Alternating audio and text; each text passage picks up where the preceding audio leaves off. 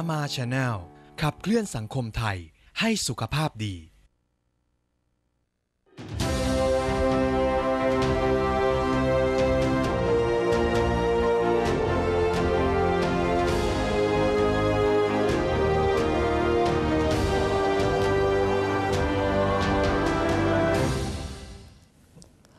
สวัสดีคุณผู้ชมครับ ต้อนรับคุณผู้ชมเข้าสู่รายการพบหมอรามาครับ กับผมเตอรี่รัตนันจันยาจิรวงศ์ครับ มาพบกับคุณผู้ชมในช่วงเวลา 5 โมงเย็นจนถึง 1 ทุ่มนะครับ ทางช่องรามาแชนแนลครับ วันนี้เราอยู่กับผู้ช่วยศาสตราจารย์นายแพทย์เฉลิมพงษ์ฉัตรดอกไม้ไพร จากภาควิชาศัลยศาสตร์ คณะแพทยศาสตร์ โรงพยาบาลรามาธิบดีครับ อาจารย์สวัสดีครับ สวัสดีครับคุณเต๋อ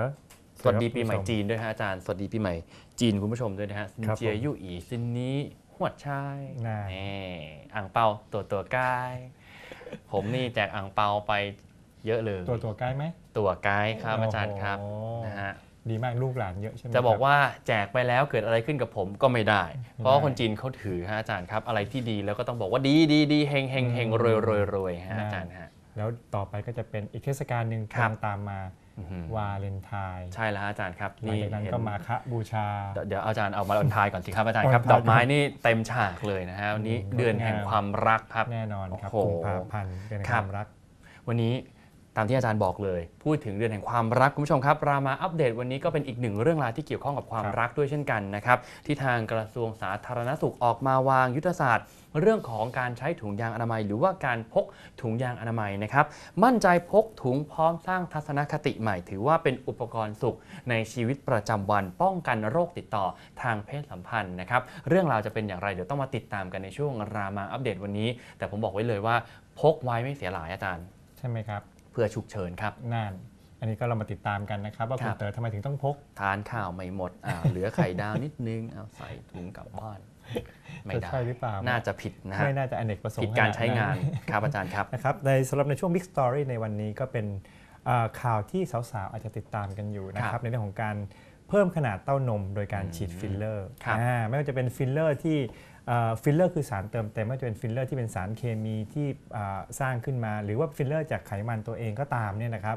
จะเกิดผลดีผลเสียอย่างไรนะครับ มีข้อดีทุกด้านจริงหรือไม่นะฮะมีภาวะแทรกซ้อนเกิดขึ้นหรือไม่มาติดตามกันนะครับ ในวันนี้อะเราได้อาจารย์นายแพทย์สรายุทธดำรงวงศ์สิรินะครับ ท่านเป็นอาจารย์อ่าสาขาวิชาศัลยศาสตร์ตกแต่ง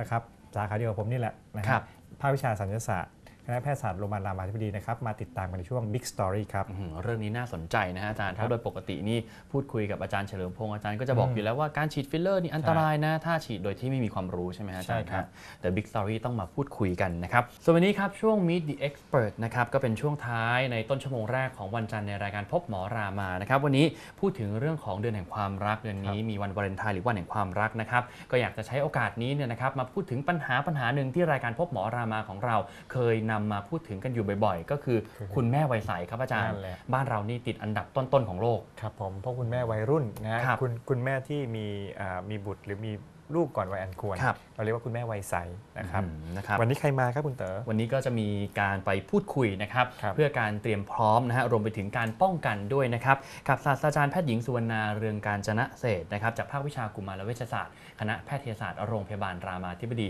เดี๋ยวกลับมาติดตามกันนะฮะในช่วงท้ายของต้นชั่วโมงแรกครับครับส่วนช่วงนี้ช่วงแรกของรายการช่วงรามาอัปเดตครับ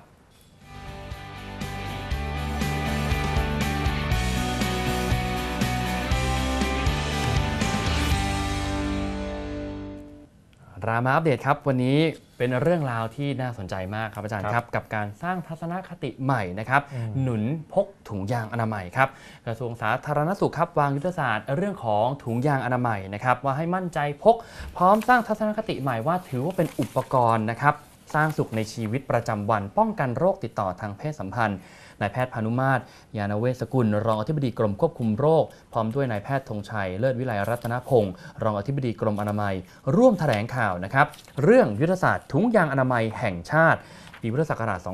2518 ถึง 2562 Public Private Partnership เพื่อรัก ลอดภัยนะครับ โดยเป็นความร่วมมือกันระหว่างกรมอนามัยกองทุนนะฮะ แล้วก็ประชากรแห่งสหประชาชาติ หรือว่า UNFPA และสำนักงานกองทุนสนับสนุนการสร้างเสริมสุขภาพหรือสสส นั่นเอง เนื่องจากสถานการณ์การแพร่ระบาดของเชื้อ HIV ในประเทศไทย พบว่าในปี 2557 มีผู้ติดเชื้อ HIV 445,504 คน เป็นผู้ติดเชื้อรายใหม่7,816 คนนะครับ ร้อยละ 90 ของผู้ติดเชื้อรายใหม่เนี่ยเกิดจากการมีเพศสัมพันธ์ที่ไม่ได้ป้องกัน ซึ่งเห็นได้จากอัตราการป่วย ด้วยโรคติดต่อทางเพศสัมพันธ์มีแนวโน้มสูงขึ้น รวมถึงการตั้งครรภ์โดยไม่พร้อม ในเยาวชน สถิติในปี 2557 เนี่ยมีวัยรุ่นอายุต่ำกว่า 20 ปี คลอดบุตร 115,491 รายนะครับเฉลี่ยวันละ 316 คน โดยวัยรุ่นอายุต่ำกว่า 15 ปี คลอดบุตร 3,213 รายเฉลี่ยวันละ 9 คน ถือว่าเป็นปัญหาสาธารณสุขระดับชาติที่ต้องแก้ไขนะครับ โดยความร่วมมือของหน่วยงานเครือข่ายทั้งภาครัฐ และเอกชนอืมจริง ๆ เรื่องของถุงยางอนามัยนี่เป็นที่ถกเถียงกันมาช้านานครันะบอาจารย์ครับ แต่ว่าก่อนอื่นมาพูดถึงยุทธศาสตร์ครั้งนี้กันก่อนนะอาจารย์ครับยุทธศาสตร์ถุงยางอนามัยแห่งชาตินี่มีกี่ข้อมีอะไรยังไงบ้างครับอาจารย์ครับจริงยุทธศาสตร์ถุงยางอนามัยแห่งชาติเนี่ยนะครับครับที่ทางกระทรวงสาธารณสุขเนี่ยถือว่าเป็นอ่า การรณรงค์เลยนะครับครับ ก็ก่อนอื่นต้องบอกกันว่าเริ่มตั้งแต่ปีที่แล้วแล้วครับ2558 บวกไปอีก 5 ปีก็ไปจบที่ 2562ครับ5ปีนี้ก็โดยที่มีกลยุทธ์หรือยุทธศาสตร์ในการที่จะทำให้เกิดผลก็คือ 1. พกได้มั่นใจครับพกได้มั่นใจก็คือว่าเราพกได้เนี่ยไม่ใช่ว่าใครเห็นแล้วใครจะมองว่าเอ้นี่เสือหรือเปล่าเนี่ยครับ เซียนเหลือเกินพกถุงยางอนามัยนะครับก็อย่าให้อย่ามีอคติก็ถือว่าเราถือว่าเราพกเพื่อความปเพื่ลออดภัยเพื่อความปลอดภัยครับนะครับใช่ข้อที่สองคือหาง่ายใช้เป็นครับหาง่ายก็คือว่าสามารถที่จะซื้อได้นะครับตามสะดวกซื้อหรือว่าเอ่อตู้กดอัตโนมัติ แล้วก็ต้องใช้เป็นใช้อย่างถูกต้องใช้อย่างถูกวิธีด้วคยรับนะครับ แล้วก็ข้อที่ 3 คือทุกชิ้นมีคุณภาพอืมแน่นอนครับว่าต้องมีกำกับมาตรฐานมาตรฐานขององค์การอุตสาหกรรมเนี่ยนะครับที่จะบอกว่าทุกชิ้นเนี่ยได้รับการผลิตอย่างมีมาตรฐานครับนะครับ อันที่ 4 ก็คือว่ารัฐนำทุกฝ่ายหนุน แปลครับว่ารัฐบาลหรือกระทรวงสาธารณสุขเนี่ยนะครับหรือหน่วยงานของรัฐเนี่ยช่วยนำแคมเปญนี้นะครัฮะบช่วยการรณรงค์เนี่ยเรื่องของการใช้ถุงยางออนามัยในวัยรุ่น หรือว่าในผู้ชายก็ตามเนี่ยนะครับแล้วทุกฝ่ายก็ช่วยกันหนุนไม่ว่าจะเป็นหน่วยงานย่อยคุณครู ผู้ปกครองเพื่อนหรือแม้กระทั่งรายการรามาชาแนลของเราก็ถือว่าครับเราก็มีส่วนในการสนับสนุนอ่าการ โครงการนี้ของรัฐบาลนะคครัรับบและสุดท้ายคือเร่งรัดวัดผลก็คือว่าประเมินผลเพื่อที่จะรู้ว่าเอ่อการโครงการเนี้ยสำเร็จแค่ไหน รวม 5 ข้อคือพกได้มั่นใจ หาง่ายใช้เป็นทุกชิ้นมีคุณภาพ รัฐนำทุกฝ่ายหนุนและเร่งรัดวัดผล อันนี้เป็นกลไกหรือว่ากลยุทธ์ 5 ข้อที่จะทำให้อ่าการนำถุงยางมาใช้เนี่ยเป็นที่ยอมรับมากขึ้นครับอาจารย์ครับวันนี้เดี๋ยวเรามาย้ำกันอีกสักครั้งหนึ่งครับอาจารย์ว่าครับการใช้ถุงยางอนามัยเนี่ยจะมีผลอืมดีอย่างไรต่อสุขภาพร่างกายของเราบ้างนะอาครัจาบรย์จริงๆถุงยางอนามัยเนี่ยจริงๆที่ที่คุณเต๋อเกริ่นมาว่าเป็นที่ถกเถียงกันมากเนี่ยครับเพราะว่าส่วนหนึ่งก็จะคิดว่าถ้าเราส่งเสริมให้เขาใช้ถุงยางอนามัยก็เหมือนกับเราส่งเสริมให้เขามีเพศสัมีมเพศพันสัมธ์พันธ์นี่อะไรอย่างนี้นะครับครับซึ่งในปัจจุบันเนี้ก็ต้องยอมรับว่าการมีเพศสัมพันธ์เนี่ยถือว่าครับเป็นเรื่องธรรมดามากขึ้นอืมครับนะครับหรือแม้กระทั่งอ่าเร็วมากขึ้นครับเร็วขึ้นนะครับ เราจะรอให้เด็กเขาอ่าจบม .6 จบอุดมศึกษาอายุ 24 ปี 25 ปี แล้วค่อยไปสอนเนี่ยอืมบางทีไม่ทันครับนะครับจึงต้องให้ความรู้เรื่องเพศศึกษาเนี่ยตั้งแต่เด็กและในครับเด็กเนี่ยเราก็ปป 5 ป 6 ก็จะเริ่มมีการเรียนการสอนเรื่องของเออ ผู้ชายผู้หญิงต่างกันอย่างไรอะไรนะครับครับประจำเดือนหรือว่าอ่าเต้านมของผู้ชายผู้หญิงที่มีขนาดใหญ่ขึ้นจะเป็นอย่างไรนะครัครับบการแตกพานเสียงที่เปลี่ยน ตลอดจนถุงยางอนามัยเนี่ยเป็นสิ่งที่มีคุณค่าในแง่ของหนึ่งคือการป้องกันโรคติดต่อทางเพศสัมพันธ์ครับนะครับ อันนี้แน่นอนว่าป้องกันการมาโรคได้อืมนะฮะครับติดต่อทางเพศสัมพันธ์ได้แต่ว่าไม่ก็ไม่ใช่ทุกโรคนะครับครับ ยังมีอีกหลายโรคที่ติดต่อได้นะฮะทางที่ถุงยางอนามัยเนี่ยป้องกันไม่ได้ เช่นโรคที่ติดต่อทางการจูบทางการสัมผัสครับอะไรอย่างเงี้ยนะครับ เช่น โรคหวัดโรคอ่าติดเชื้อไวรัสในปอดในอะไรอย่างเงี้ยฮะทางผิวหนังทางเชื้อราอะไรอย่างเงี้ยนะครับครับก็ครับนะฮะหรือแม้กระทั่งอ่าพวกโลนพวกเหาอะไรเงี้ยก็ป้องกันไม่ได้ครับแต่ว่าเอาเป็นว่าโรคที่อันตรายเนี่ยเขาป้องกันได้ เช่นโรคตับอักเสบบีโรค ซิฟิลิสหนองในต่าง HIV ๆ HIV ที่ก็ครับก็สำคัญด้วยครันะครับบอาจารย์แต่ว่าอ่ามันป้องกันได้ก็เป็นประโยชน์หนึ่งข้อครับอีกข้อหนึ่งที่สำคัญกว่าคือว่าเเป็นการส่งเสริมการวางแผนครอบครัวอืมนะครับครับก็คือว่าเมื่อถึงเวลาเท่านั้นที่เราพร้อมจะมีลูกครัมีบบุตรมีมีลูกหลานสืบสกุลเนี่ยนะครับครับแล้วก็ถึงจะเลิกใช้ถุงยางอืมนะครับ ถ้าเกิดว่าเรายังไม่มั่นใจว่าจะมีครอบครัวไหมนะครับ หรือว่าอ่าเป็นการอ่า ยังไม่แต่งงานอะไรเงี้ยนะครับ ก็ก็ใช้ถุงยางอนามัยไปก่อน เพื่อที่จะไม่ทำให้เกิดการตั้งครรภ์ก่อนวัยอันควรครับนะครับอื้อหือนี่นะเป็นฮะประโยชน์ของถุงยางอนามัย จากมุมมองของอาจารย์ครับ เรื่องครับของการผู้ปกอ่าการที่ผู้ปกครองเองเนี่ยนะฮะควครัรบจะสอนให้ลูกนะฮะหรือว่าบุตรหลานเนี่ยรู้จักกับเรื่องราวของเพศสัมพันธ์ เพื่อคครับวามรู้เท่าทันรวมไปถึงการใช้ถุงยางอนามัยอืมอย่างถูกต้องเนี่ยอาจารย์มองว่ายุคนี้ พศ 2559 อาจารคย์รับคิดว่าควรจะเริ่มสอนกันตั้งแต่อายุเท่าไหร่ดีฮะ จริง ๆ แล้วเนี่ยมันไม่มีตัวเลขชัดเจนหรอกครับ ครับ ผมเชื่อว่าไม่ไม่มีตัวเลขชัดเจนหรอกแต่ว่าเพียงแต่ว่าเอ่อคือการสอนเนี่ยจริง ๆ แล้วมันไม่ใช่ว่าเอาวันนี้เรามาเรียนกัน ครับ เอาลูกมานั่งคุยกันเรียนกันเรื่องเพศสัมพันธ์กันดีกว่า ไม่ใช่อย่างนั้น เพราะว่าการสอนมันเริ่มต้นตั้งแต่ที่เขาได้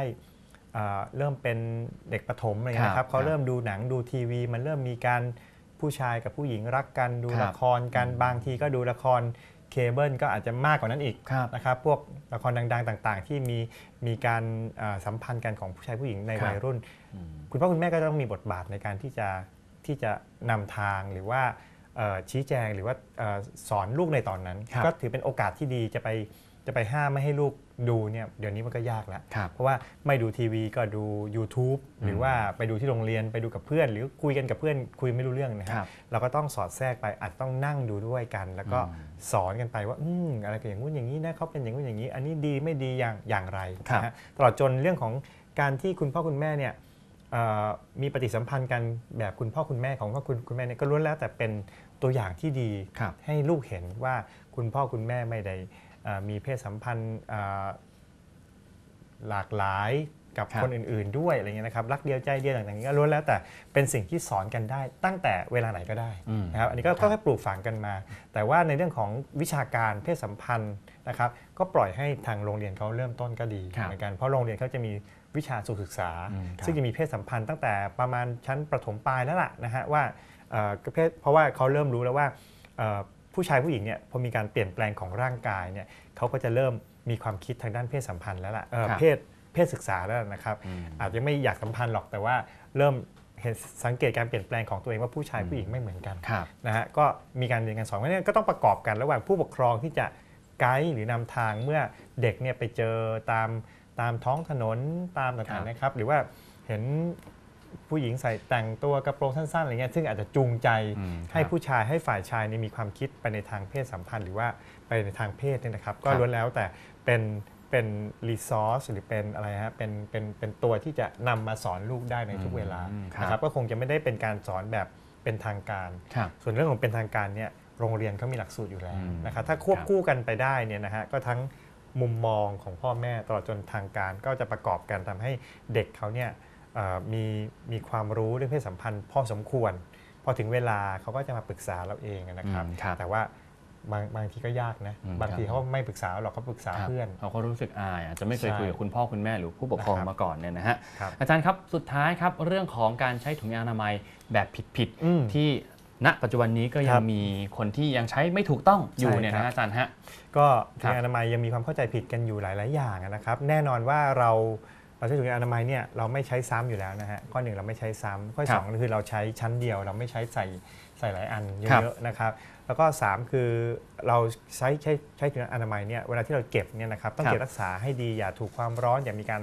หักพับ ก็คจะรับมีอ่าปริหรือฉีกขาดของถุงยางได้อืมนะครับครับ แล้วก็เอ่อการคิดว่าถุงยางอนามัยเนี่ยจะป้องกันได้ทุกโรคอันนี้ไม่ใช่ครับอย่างที่เรียนให้ทราบแล้วว่าโรคบางอย่าง เช่น โรคที่ติดต่อกันทางจูบทางสัมผัสเนี่ยถุงยางอนามัยเนี่ยป้องกันไม่ได้โอ้ครับแต่ว่าโรคที่น่ากลัวหลักๆเนี่ยนะครับเขาป้องกันได้โรคครับ HIV นะครับหรือว่าโรคตับอักเสบต่างอืมๆและสุดท้ายก็คือถุงถุงยางอนามัยเนี่ยนะครับเราพกพาไปเนี่ยนะครับก็ให้มีทัศนคติว่าเราเตรียมพร้อมครับไม่ได้หมายความว่าเรา ใช้ทุกวันอะไรอย่างเงี้ยนะฮะครับ ก็ก็ก็เป็นสิ่งที่จะทำให้เอ่อทัศนคติของพวกเราเนี่ยเปลี่ยนไปครัในบมุมมองของต่อผู้ที่มีถุงยางอนามัยนะฮะ ในกระเป๋าสตางค์เนี่ยนะครับ นะครับยืดอกพกถุงนี่ผมจำได้ว่าเป็นอีกหนึ่งโครงการที่ดีของสสสเนี่ยนะคครัรับบซึ่งณปัจจุบันนี้อาจจะไม่ได้ใช้แคมเปญนี้แล้วครับแต่ผมก็เชื่อว่าเป็นคำที่ที่ดีอืมนะฮะอันนี้เราเห็นด้วยนะครับแล้วก็สนับสนุนว่า เชื่อเถอะฮะยืดอกพกถุงเวลาต้องการจะออกรบเนี่ยนะครับเมื่อถึงเวลาแล้วมันก็ปลอดภัยกว่านะครับอะมาต่อกันที่อีกหนึ่งเรื่องดีกว่าครับอาจารย์ครับคราวนี้เป็นเรื่องของการฝึกพูดครับเป็นทักเอ่อเป็นการพัฒนาทักษะเพื่อการสื่อสารเนี่ยนะครับ เรื่องของการพูดเนี่ยนะครับจริง ๆ แล้วก็ถือว่าเป็นทักษะที่สำคัญต่อชีวิตของมนุษย์คนเรานะครับและที่สำคัญแต่ละคนเองนี่ก็จะมีแนวทางในการพัฒนาทักษะในการพูดของตนเอง เพื่อให้เกิดประสิทธิภาพในการสื่อสารได้นะครับ วันนี้เรามีผู้ช่วยศาสตราจารย์การจะรักนะครับคันทพสุนทรา จากภาควิชาวิทยาศาสตร์ สื่อความหมาย และความผิดปกติของการสื่อความหมาย คณะแพทยศาสตร์โรงพยาบาลรามาธิบดีมหาวิทยาลัยมหิดลนะครับที่จะมาให้ความรู้กัน ไปติดตามการรายงานพิเศษจากรายงานพิเศษจากคุณนวการปานสิริผู้สื่อข่าวจากรามาชาแนลครับ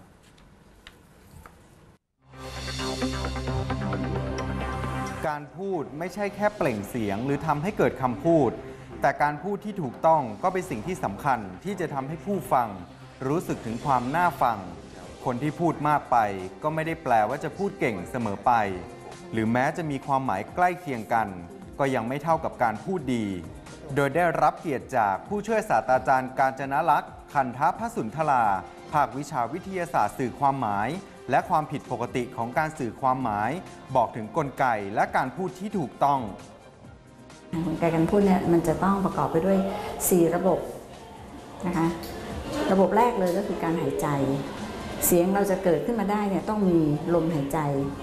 นะคะเมื่อใช้ลมหายใจแล้วเนี่ยมันก็จะมาผ่านที่กล่องเสียงนะคะเพื่อทำให้เส้นเสียงสั่นมีการออกเสียงออกมา เมื่อลมที่ผ่านบริเวณคอผ่านปอดมาที่ปาก โดยมีลิ้น ขากรรไกรฟันและเพดานอ่อน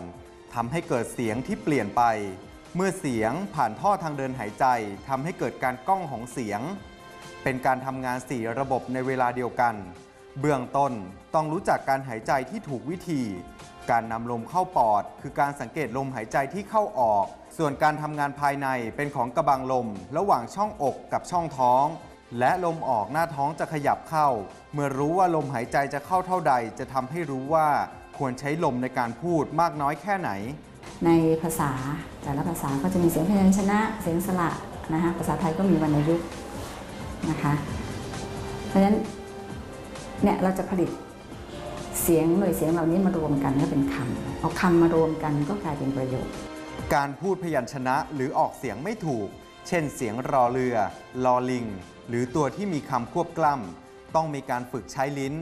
ฝึกการเคลื่อนไหว การทำงานภายในปาก ในช่วงต้นอาจจะฝึกด้วยการพูดช้าๆ เพื่อให้ฝึกได้คำที่ถูกต้อง และมีการพัฒนาในเรื่องของจังหวะในการพูดที่ดูน่าฟัง หนูแจ๋วพอกหน้าปากแป้งด้วยดินสอพองดูงามดี มันยากเพราะอะไรอย่างซอเสือเนี่ยมันต้องให้ลมเนี่ยเสียดแทรก